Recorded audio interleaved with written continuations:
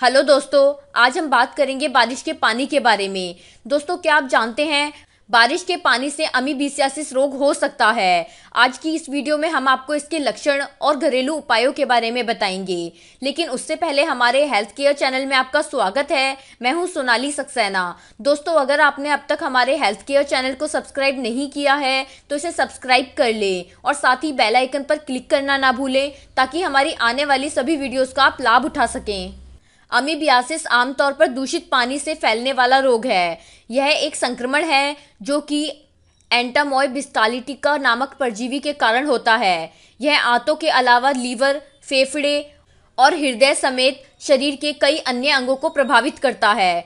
उत्तकों के मरने के बाद यह कोलन में सूजन और छालों का कारण बनता है। इससे पेट में ऐठन, दस्त, कब्ज, उल्टी और अन्य संक्रमण के कारण बनते हैं। इससे त्वचा संबंधी समस्याएँ भी हो सकती हैं। हालाँकि इन संक्रमणों का इलाज संभव है, लेकिन आज हम आपको कुछ ऐसे सरल घरेलू उपाय बताने जा रहे हैं, जिनके माध्यम से आप अमीबियासिस से छुटकारा पा सकते हैं।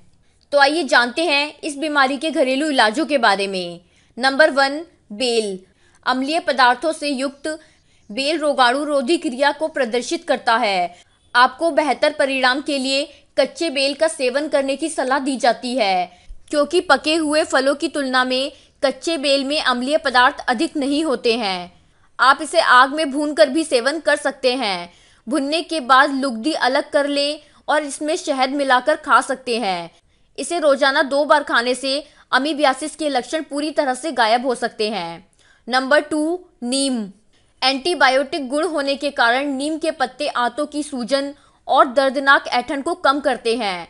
आपको बस सूखे नीम के पत्तों हल्दी पाउडर और सरसों के तेल का एक पेस्ट बनाने की ज़रूरत है और इसे अपने पेट के आसपास लगाएँ। नंबर थ्री, खुबानी के पत्ते।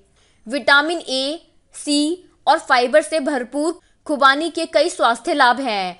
इसके अलावा इसके पत्ते मल को बांधते हैं और दस्त के रोगियों की भी मदद करते हैं, जो अमीबियासिस की वजह से होते हैं। इसे सही करने के लिए आप इन पत्तियों को धोने के बाद इनका रस निकाल लें और फिर इन्हें पीने के लिए पानी के साथ मिलाकर पी सकते हैं। नंबर फोर ब्लैक टी चीनी के बिना रोज़ाना काली चाय पीने से आंत से परजीवी को साफ़ करने में मदद मिलती है। इसके अलावा यह आंत में परजीवियों द्वारा उत्पन्न विषाक्त पदार्थों को बाहर निकाल सकता है। नंबर फाइव अमरूद के पत्ते. प्रकृति में अत्यधिक अम्लीय होने के कारण अमरूद की पत्तियाँ परजीवियों को नष्ट कर देती हैं। इसलिए सूखे अमरूद के पत्तों को पीसकर उसमें पानी मिलाएँ बेहतर प्रभाव के लिए इसे रोज़ाना तीन बार पिए। दोस्तों, ये थे इस बीमारी से बचने के कुछ उपाय। अब हम आपको इसके बचाव के बारे में बताएँगे। तो आइए जानते हैं। नंबर वन, अमीबियासिस के लक्षण दिखने पर तुरंत चिकित्सक से संपर्क करें। नंबर टू, अच्छे से फ़िल्टर किया हुआ पानी पिए या उबाल कर पानी पिए। नंबर थ्री, खाना बनाने के लिए साफ़ पानी का इस्तेमाल करें और किचन में साफ़ सफ़ाई का ध्यान रखें। नंबर फोर बरसात में भीगने से बचें और सड़क पर खुलने में इकट्ठा पानी देर तक पाँव भिगोने से बचें। नंबर फाइव, अगर आप सप्लाई का पानी पीते हैं तो पीने के पानी में क्लोरीन डालें। दोस्तों, आज के लिए इतना ही। अगर आपको हमारी वीडियो अच्छी लगी तो इसे लाइक और शेयर करें। Thank you for watching my video